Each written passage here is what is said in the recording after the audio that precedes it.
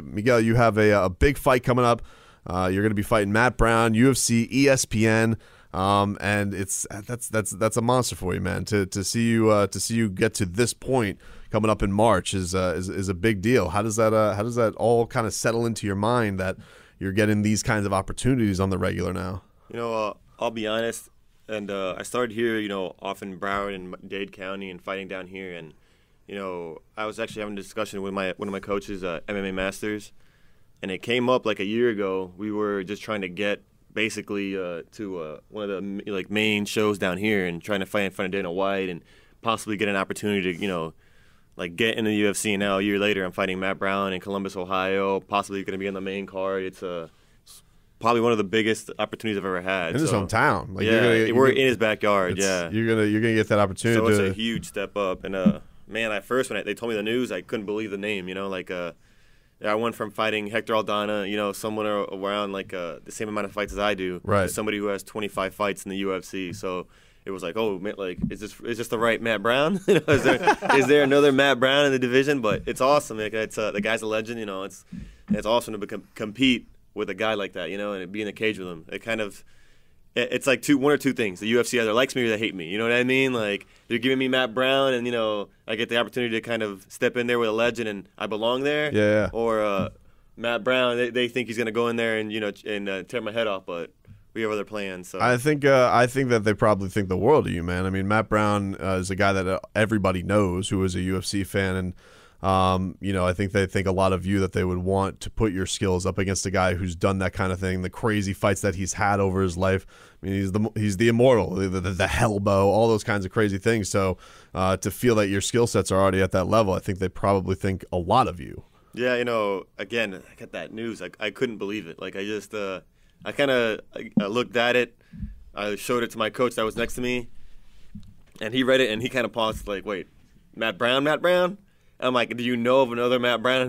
I mean, like, what's going on? And then when we got it, it was just, it was all excitement after that. You know, it was a, a, big step up. What is what has it been like being in the UFC? Like, you have been a guy you fought in Titan, XFN for the guys uh, for fight time down here. Like all these.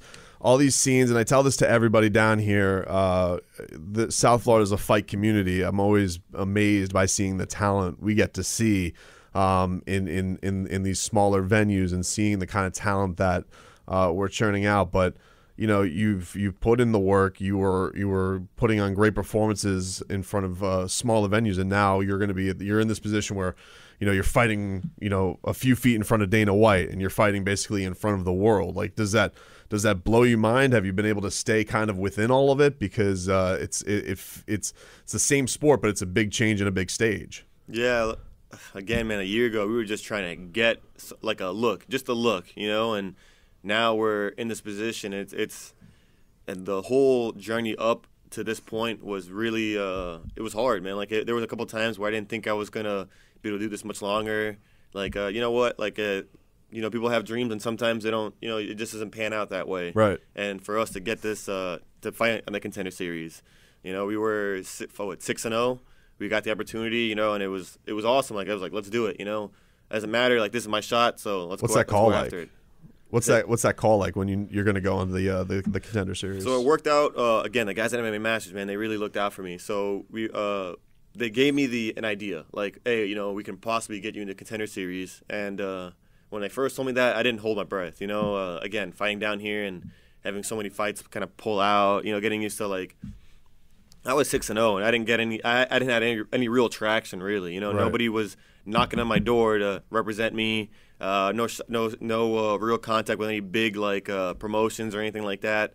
So when they brought up the uh, just the, the, the the opportunity of Dana White's Contender Series, I was like, all right, let's do it. But again, I wasn't I wasn't gonna uh, put all my chips into that. You know, like I wasn't gonna go ahead and bet all, bet the house that I was gonna be on Dana White's Contender Series.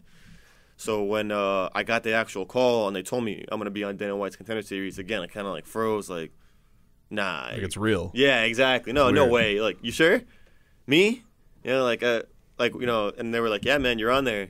They gave me the name and everything, and then that was a whole nother like journey we had to go through with the training camp and the, the opponent change and everything like that, and then to fight. The other crazy thing about the Dana White Contender Series, they warn me about it, but it's still a little different, a little eerie. Is when you walk into the to the you know the cage and where everybody's sitting down, like your friends, your family, and then Dana White, it's super quiet. Right. Super quiet. You walk in, you can hear everybody like just kind of almost breathing and just like you know you could feel the eyes on you and everything. And then you know when the fight goes on, there's no clapping. There's you know you can hear his coach telling him what to do. You can hear my coach, and it's just you know just the thump. You can hear you can hear us like every every kick, every pu- yeah. It's just uh, a it's different from any other fight. You know, it's it was almost like yeah, being in the gym, which kind of helped me a little bit. You know, it was like mentally like okay, it's you know it's just like you know sparring it at, at home. You know, but again, Dana White's only a few feet away, but I tried to block that out. I was like, Right. no, let me. I got, I got, I got, a, I got a mission. I got to take this guy out first. Uh, Kevin, what what have you seen in Miguel's uh, growth? I guess over over this uh, this this last short period of his career, where the this the, the, the lights have gotten a little bit brighter and uh, more people are, are knowing his name. Is it is it one of those things where are you trying to perfect what got him there? Are you are you still trying to add things because now the competition is going to get a little bit stiffer and uh, you'll, you're taking on guys that do have a lot more experience? What does that go like as far as uh, preparation is concerned as a coach? I mean, I try to keep, um, from my aspect, the preparation pretty much the same as um, as it's always been. You know, just it's the name that's in front of us and the body type and the, the tools that they bring. Um, as far as you know, the progression that he's had since he started, it's I always believed in him since the, you know I've been training for about five years, so I always believed he was UFC ready from you know the first time I actually mixed it up with him. He was he was that high level. He has a, a probably one of the best IQs I've ever seen um, that I've actually trained and had the opportunity to train. So uh, his progression has been great. I mean, Miguel gets mentally focused for whoever's being put in front of him. So um, you know it, it's been a, a, a fun ride for the last five years from his you know pro debut to where he's at now. Yeah, it's it, it, speaking of your fight IQ, the way uh, you won your last fight, like taking a guy out, like chopping those chopping those legs down. That is such a a nasty thing when watching a fight. You see a guy's leg balloon up. When do you do that? Like in a fight, knowing that that is there for you, uh, knowing that a guy really can't stop that, and knowing it's starting to really affect him. Like how does when, when does all this kind of stuff kind of engage in your head that something is being that effective when you're winning a fight that way?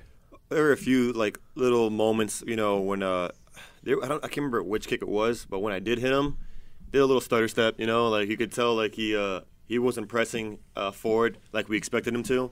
Hector Aldana was, you know, a, a, he's a pressure fighter, more of a Muay Thai guy, and we expected him to be real heavy, like come out real strong and put the pressure on me. And uh, we got a few kicks off, and then he started kind of stutter step, and all of a sudden that that initial explosive step forward wasn't there anymore. And then I just kind of kept throwing it, kind of trying to feel him out to see maybe he was trying to kind of lure me into to an exchange, and he did do it a few times. He kind of waved me over, you know, come into him. I was like, no, we're not gonna play that game. So you know, after the first round went by, I went I went back to my corner and told me, yeah, he's feeling the leg kicks. You got to keep going back to that. And I was like, man, let's do it. You know, like that's the that's the easiest way to, to take this guy out. You know. So he got in there, and I started to uh, kind of put it together a little more. Now I use my hands to set up the kick a little bit more, and then use the kick to set up my hands a little bit more.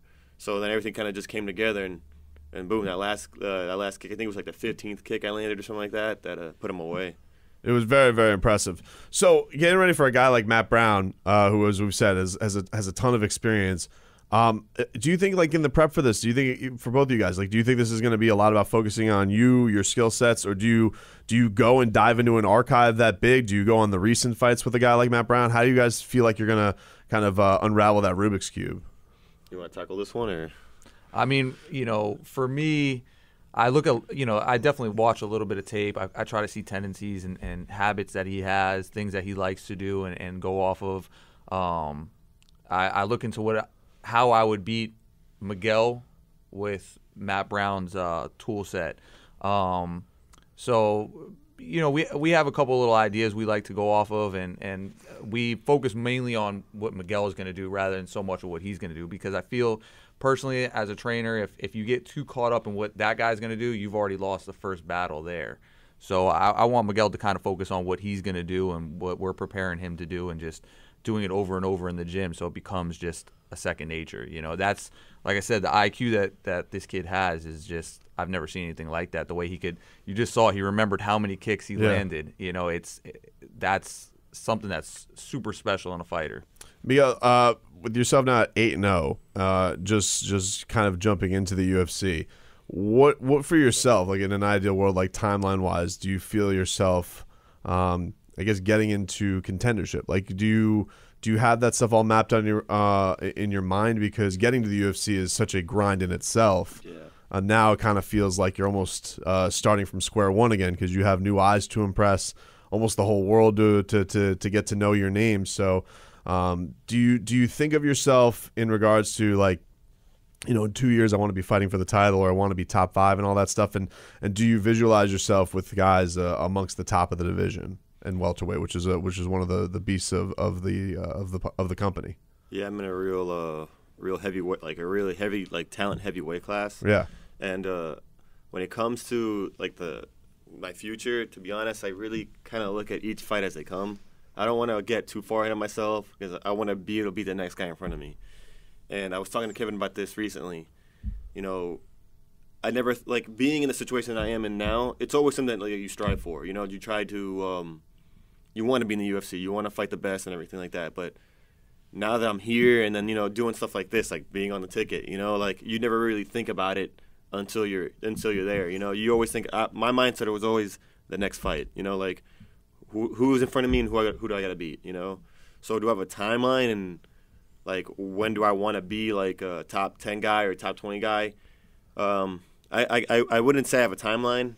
I just want to make sure that uh when I have my next fight, I'm ready to go and I beat that guy, and then after that I beat that guy, and I know this is a major step up, so it'll get me to where I want to be a lot sooner. So I'm thinking maybe two years, maybe a year and a half, if you know, again, we do it right and I get you know the right fights. Like, you know, when I mean right fights, I don't, I don't mean like there's a person in particular because my mindset also is I'm in the UFC, so I'm gonna fight the best guys in the world. So you can give me whoever you want, you know, like You've- that's it. you've pummeled a lot of guys. Like you you go out and you get some some pretty vicious finishes. Um, do, going into a fight like this against Matt Brown and knowing this, you know, going to be on ESPN and all that stuff.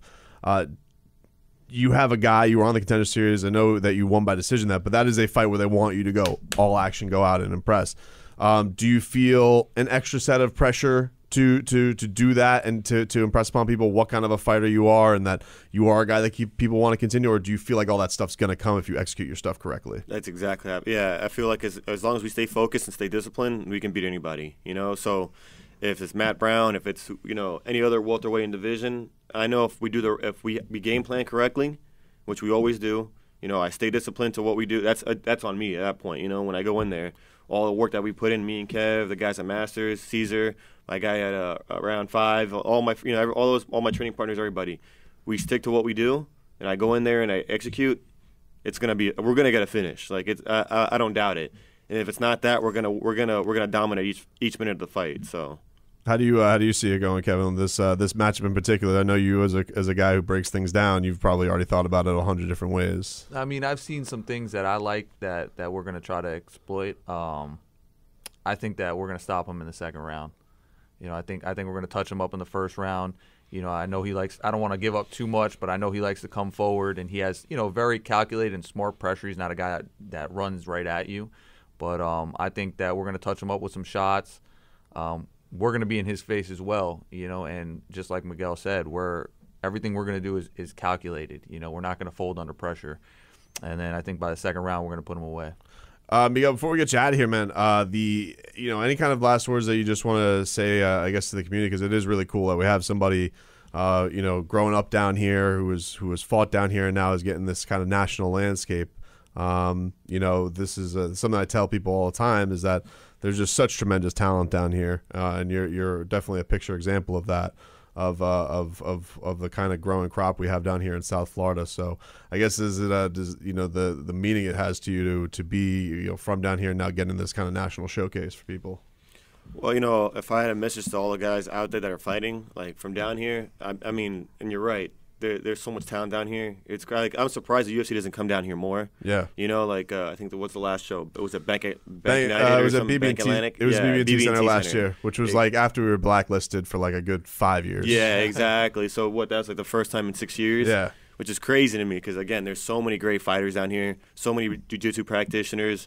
Like you can you can throw a rock and hit a black belt. You know what I mean? Like there's so many good guys down here, and for all those guys that are fighting coming up through the regional circuit down here, and keep it going. Like uh, I'm exactly like you said. I'm an example. I made it to where I want to be, and everything's changed since that point. And I, I remember the days where I was I like I don't know if I can continue this. I like it's hard, man. Like trying to trying to chase your dream is hard, but you know, when, once you make it, it's all those all sacrifices are worth it, man. So to everybody out there who's struggling to make it, keep fighting, man.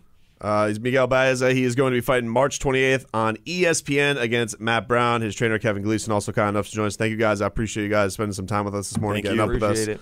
And uh, we'll definitely be watching the journey for sure. The ticket. We're back Tune after- in. There you go.